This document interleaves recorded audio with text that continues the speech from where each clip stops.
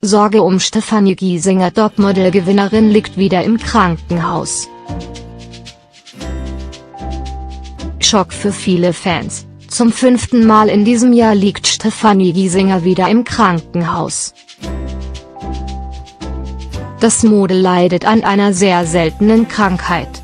2014 gewann sie Germany's Next Topmodel. Drei Jahre später zählt Stefanie Giesinger zu Deutschlands einflussreichsten Influencern. Fast drei Millionen Fans folgen ihr auf Instagram. Immer wieder lässt die 21-Jährige ihre Anhänger an ihrem Alltag teilhaben. Dazu gehören jedoch auch die Schattenseiten ihres Lebens. In ihrer Instagram-Story zeigt sich Stefanie jetzt von ihrer vermutlich persönlichsten Seite. Auf dem Online-Bilderdienst postet das Model mehrere kleine Clips aus dem Krankenhaus mit Schlauch in der Nase und einem Kotzbeutel im Schoß. Wir sollten uns dafür nicht schämen ich habe lange drüber nachgedacht. Ich bin so oft im Krankenhaus und zeige es nie.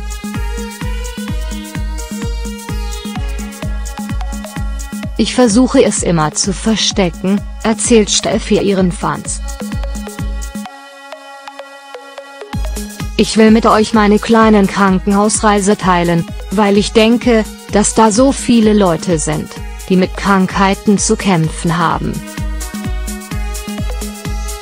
Wir sollten uns dafür nicht schämen.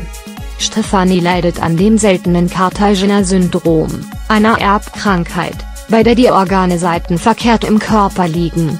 Ich habe diese Krankheit seitdem ich geboren wurde, verrät sie.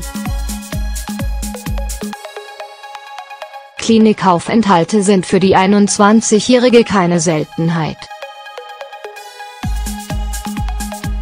Ich bin frustriert doch mittlerweile würden sich ihre Besuche im Krankenhaus häufen. Ich beschreibe mich selbst als sehr starke Person, aber das war jetzt zu oft. Ich bin frustriert. Tatsächlich überlegen ihre Ärzte, operativ einzugreifen. Ich versuche immer gegen die Operation anzukämpfen, zeigt sich Steffi optimistisch. Jede Operation hat seine Risiken.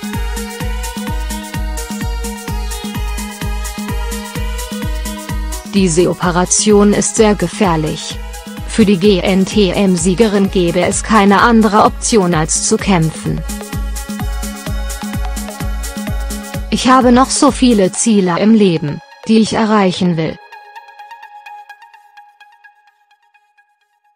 Jede einzelne Sekunde auf diesem Planeten ist einfach unglaublich. Ich werde kämpfen.